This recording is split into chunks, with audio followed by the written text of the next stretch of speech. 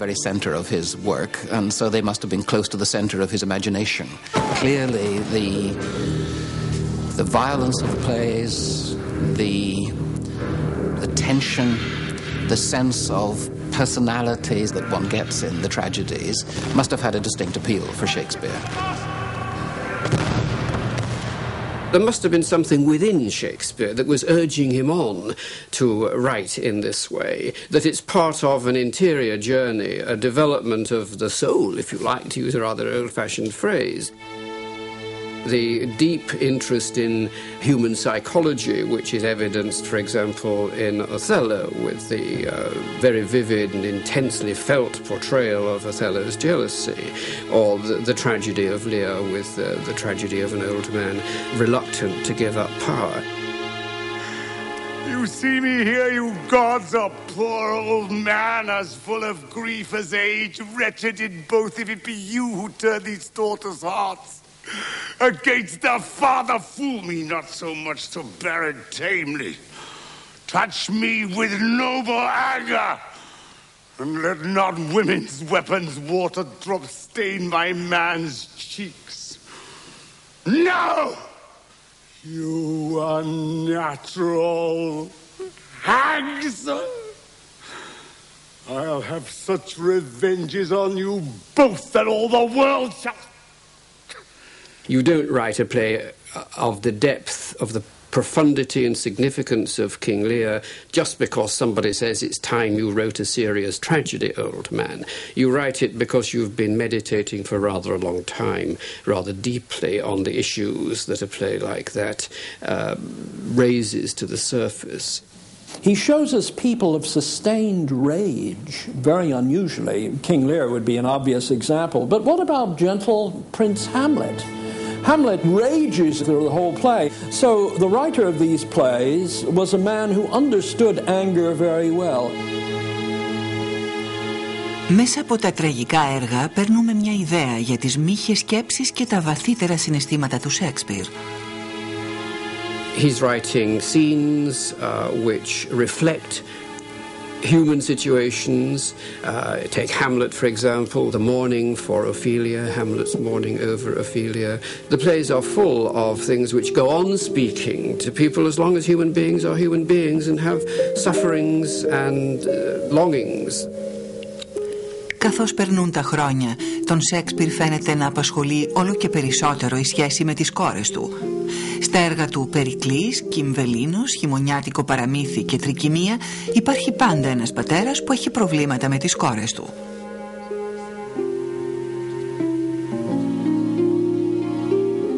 One may turn to perhaps the greatest tragedy ever written and uh, the most, most affecting, moving, terrible work of the Jacobean era, which is King Lear. The whole tragedy begins, doesn't it, with uh, difficulties with the daughter. And here we have this tremendously moving ending when Lear finally recognizes Cordelia's worth. No, I know not where I did lodge last night.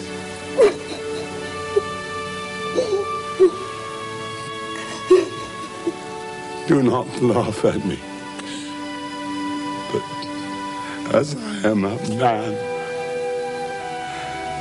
I think this lady to be my child.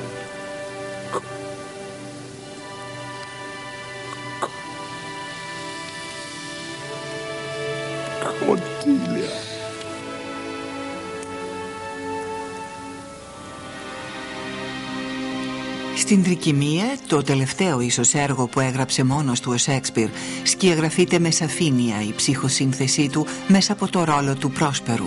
Prospero puts on a mask, an entertainment in the course of the play, and you can draw a parallel between Prospero as the creator of that mask and Shakespeare as the creator of dramatic entertainments.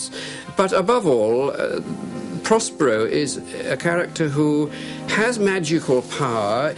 But he's also somebody who gives up his magic at the end of the play. He says he'll burn his books and he returns to being an ordinary person again. Our revels now are ended. These, our actors, as I foretold you, were all spirits and are melted into air, into thin air.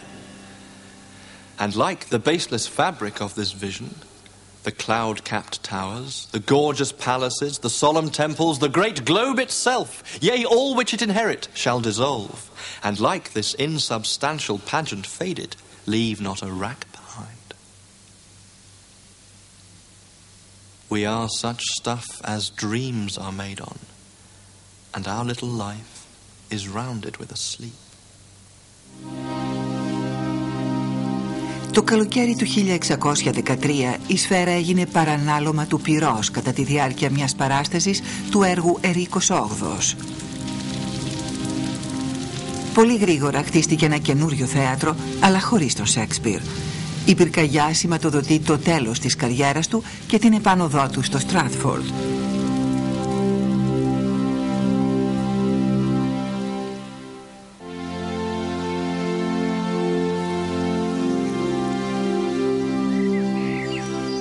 Επιστρέφει πλούσιος στη γενέτειρά του με τίτλο Ευγενίας και μεγάλη ακίνητη περιουσία. Έχει το δεύτερο σε μέγεθος σπίτι στο Στράτφορντ και είναι πρόσωπο ιδιαίτερα σεβαστό στην πόλη. Οι μέρες που αγωνιζόταν να κερδίσει τα προστοζήν ως ηθοποιός στις κακόφημες γειτονιές του Λονδίνου ανήκουν πια στο παρελθόν. Όμως δεν έχει άρενα απόγονο για να τον κληρονομήσει. His will is an angry document. It's in two parts. Showing a tremendous amount of worry over what, what is to happen after his death. Shakespeare had made out one version of his will, apparently, early in 1616. He made out a very different version later, not long before he died, empowering Susanna, his older daughter, and Susanna's husband, John Hall, who was a physician, and really leaving no power to either Judith or to uh, Shakespeare's own wife. Χαρακτηριστικό της κακής σχέσης με τη γυναίκα του είναι ότι της κληροδοτεί το δεύτερο καλύτερο κρεβάτι του σπιτιού του στο Στράτφορντ. It seems curiously offhand.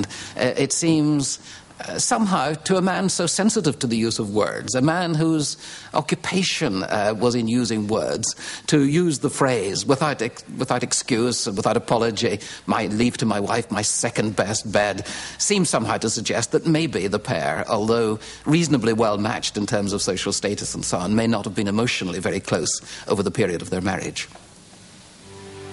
Ένα βράδυ, έπειτα από ένα γερό μεθύσι με παλιούς του φίλους από το θέατρο, λέγεται ότι ο Σέξπιρ έφαγε πολλές ρέγγες και ήπιε μπόλικο κρασί. Αρρώστησε και ανέβασε πυρετό. Πέθανε τη μέρα των γενεθλίων του σε ηλικία 52 ετών. Η κηδεία του έγινε στις 25 Απριλίου του 1616. Κάποιοι από τους τελευταίους στίχους που έγραψε ίσως να είναι ο προσωπικός του επιτάφιος. Good friend, for Jesus' sake forbear to dig the dust enclosed here. Blessed be the man that spares these stones, and cursed be he that moves my bones. Ο Σέξπιρ πέθανε πριν προλάβει να δει τα έργα του επίσημα δημοσιευμένα. Όσο ζούσε, είχαν γίνει μόνο μερικές αποτυχημένες απόπειρες πρακτικογράφησης των κειμένων κατά τη διάρκεια κάποιων παραστάσεων. Τα έργα του κωδικοποιήθηκαν πρώτη φορά το 1623, επτά χρόνια μετά το θάνατό του, έπειτα από προσεκτική έρευνα φίλων και συναδέλφων του ηθοποιών. Ο Μπεν Τζόνσον, ο δρυμύτερος επικριτής του αντίζηλος αλλά και καλός φίλος, έπαιξε καθοριστικό ρόλο στη συλλογή των έργων του που είναι διανθισμένοι με ποίηματα προς τιμήν του Σέξπιρ. Ήταν ίσως το πολυτιμότερο δώρο προς την αγγλική φιλολογία. Ο Τζόνσον κάνει λόγο για τον ευγενικό Σέξπιρ, τον γλυκό κύκνο του Avon.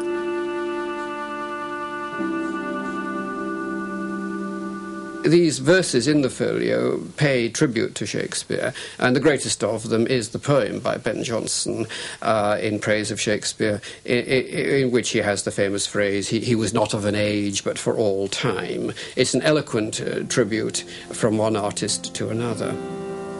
Στη μνήμη του αγαπημένου μου συγγραφέα, μαέστρο William Shakespeare και το έργο που μας κατέλειπε. Μα την αλήθεια, τα έργα του είναι τόσο σπουδαία που μήτε άνθρωπος μήτε η μουσα μπορούν να τα πενέψουν κατά πως τους πρέπει.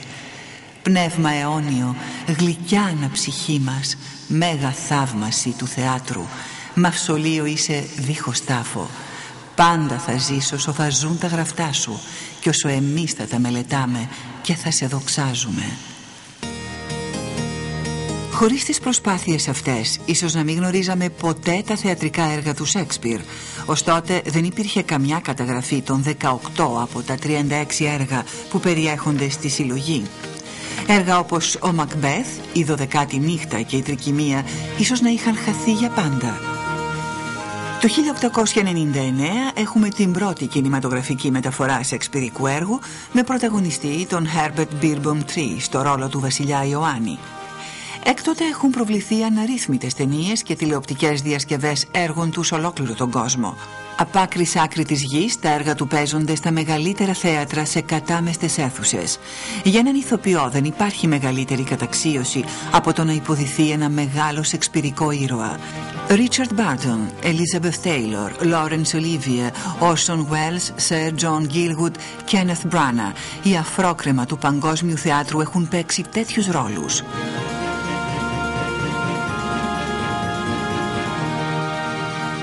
After whatever it is, 400 years, Shakespeare still has the power to transform people's lives. I've sat in performances in Stratford upon Avon. I've watched hundreds and hundreds of shows, of our shows, from the back of the stalls. And you can sometimes witness something happening in the theatre which is very profound. And clearly, the stories, the words of Shakespeare, affect people in a way that no other playwright can do. Γραμμένα με γνώμονα τη σκηνική λιτότητα του Ελισαβετιανού θεάτρου, τα σεξπυρικά έργα σήμερα έχουν μια δυναμική που ξεπερνάει κατά πολύ τον αρχικό τους προορισμό. The constant renewal of Shakespeare, the way in which new ways of staging him are always being invented, is actually one of the reasons why we have to say he is the greatest playwright. His plays are more fertile. They actually generate more exciting ways of doing it and exciting things, and indeed exciting ideas um, than any other play. And this is, this is the ultimate testimony. Some are born great. Huh? Some achieve greatness. What's that? And some have greatness thrust upon them. Heaven restore thee. Remember who commended thy yellow stockings? Stockings? And wish to see thee ever cross-gartered. Cross-gartered? Oh, go to. Thou art made if thou desirest to be so. Am I made? If not, let me see thee a servant still. Why, this is very midsummer madness. Ο Σέξπιρ είναι ένας αριστοτέχνης του λόγου, συνδυάζοντας το μείζον με το ευτελές, το οικουμενικό με την ειδική περίπτωση.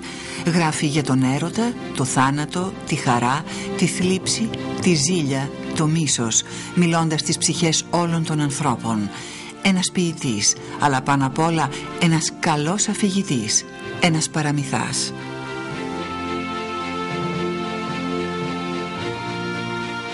Shakespeare is inescapable. He's in the air around us, even though we may not be conscious of. He's in the water supply, as it were. To die. To sleep. To sleep, perchance to dream. Aye, there's the rub. For in that sleep of death, what dreams may come, when we have shuffled off this mortal coil, must give us pause. Ο Μέγας Βίλιαμ Σέξπιρ παραμένει πάντα επίκαιρος και διαχρονικός. Τα έργα του είναι ένα πολύτιμο κληροδότημα σε ολόκληρη την ανθρωπότητα.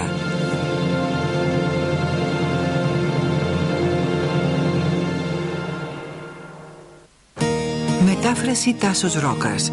Αφήγηση Αθηνά Σωτηροπούλου. Τεχνική επιμέλεια Ηλίας Θεοδόσης.